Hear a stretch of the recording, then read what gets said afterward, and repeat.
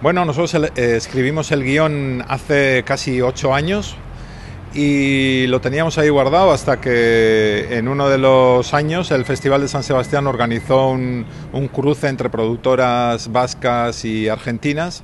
Conocimos a un productor argentino, quedamos con él, le enseñamos el guion.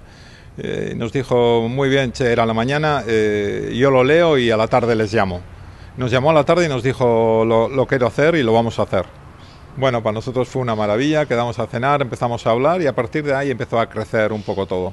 Vinimos a localizar, vinimos a localizar a Mendoza, vinimos a localizar a, a Villa María, porque las otras dos productoras son Prisma de, de acá, de, de Córdoba, y, y, la otra es de, de, Mendoza.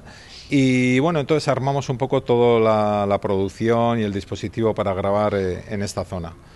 Comenzamos a localizar eh, para ver qué sitios podían ser válidos para el rodaje y bueno, llegamos a un pueblo que visitamos muchos pueblos, llegamos a un pueblo que se llama Morrison, que a mí me, encantó, me encantó su estación, me encantó eh, un poco la tranquilidad del pueblo, el slow motion de ese pueblo.